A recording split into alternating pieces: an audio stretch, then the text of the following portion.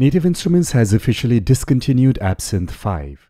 I've been using this synthesizer for quite some time, so I figured I'll show you a quick sound design technique that I've used on this synth often. So this is the sound we're going to create.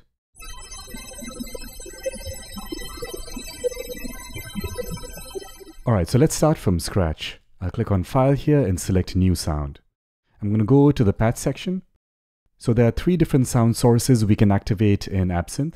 Oscillator A is active right now, it's set to a sine wave. So we get this pure sine wave tone. We can turn on the filter section, the modulation section for each of the three sound sources. And then in this master section, we can add a wave shaper, another filter, and this filter can be swapped out even to a modulation here by selecting something like the frequency shifter. So now this becomes a modulator, but I'm not going to turn anything else on except for the effect section. So I'll turn on the effect and the Aetherizer effect is active. Let's click on parameters here to switch over to the effects tab. And now we're looking at the Aetherizer effect. So there are different effects that we can activate, but you can only choose one out of this list. The Aetherizer is essentially a granular effect processor. So if you listen to this pure sine wave tone with the default settings on the Aetherizer, so you get this interesting chorusing effect to that sine wave. Just to compare this without the effect. So that's your pure sine wave, and now with the Aetherizer, subtle chorusing being introduced there. Alright, so that's nice, but let's go ahead and further tweak the settings of the Aetherizer. The first thing I'm going to change is the rate here, the grain rate. So if I want to introduce more grains per second, I can increase this. And we have this nice visualizer here that shows us what that would look like more grains per second or less grains per second. There's a feedback section here, so it's kind of like a delay effect. We can send the process signal back into the Aetherizer. That just exaggerates the effect a bit more. Be careful as you increase this parameter, the output level might increase and you might clip. I'm actually going to bring the dry signal completely down so we just hear this process sound.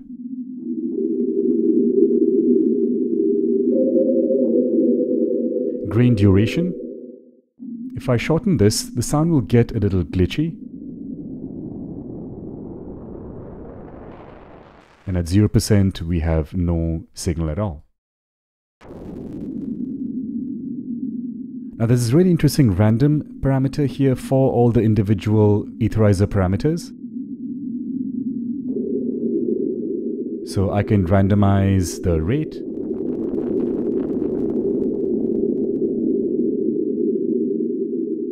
I could randomize the feedback.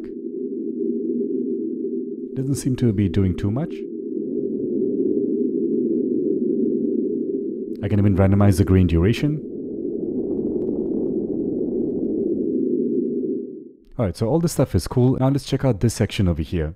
So we have transposition for the granular engine. So we can transpose the entire grain cloud up or down. 24 up so well as 24 down. That's in semitones. We can also randomize that. And you get this really interesting visualization for it.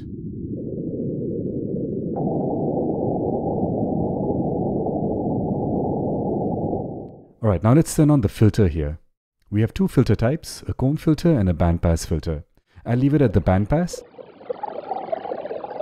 And this creates a really interesting effect. I'm going to set this filter frequency to the highest.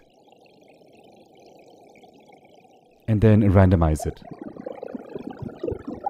So essentially the filter frequency is just jumping around the frequency spectrum. And let's increase that Q factor to increase the feedback or resonance. And there's that really interesting glassy sound.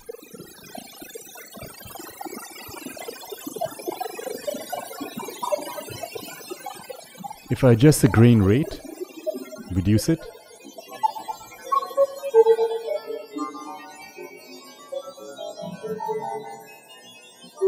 we can almost hear like a spatial processing to this glassy sound.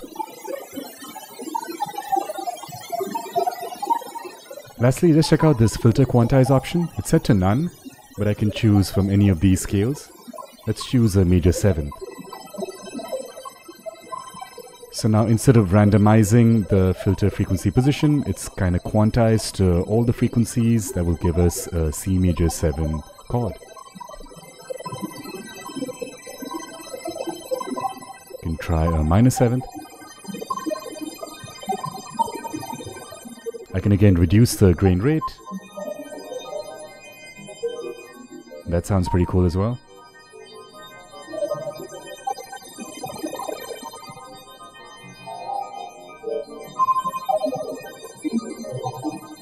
Now if you reduce the grain duration, we introduce this glitching in the sound.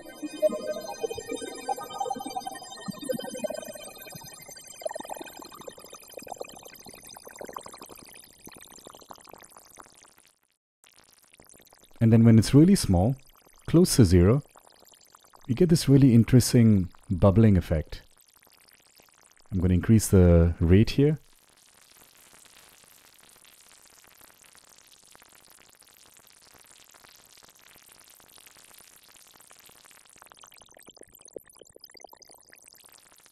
Maybe increase the feedback here as well.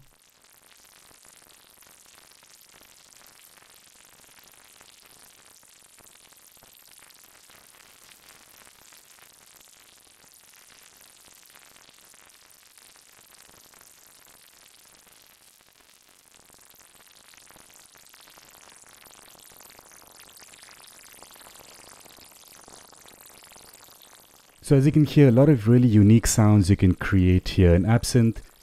And that was just using the Aetherizer. So to keep in mind again, if you listen to the original sound, we're still just using that pure sine wave tone.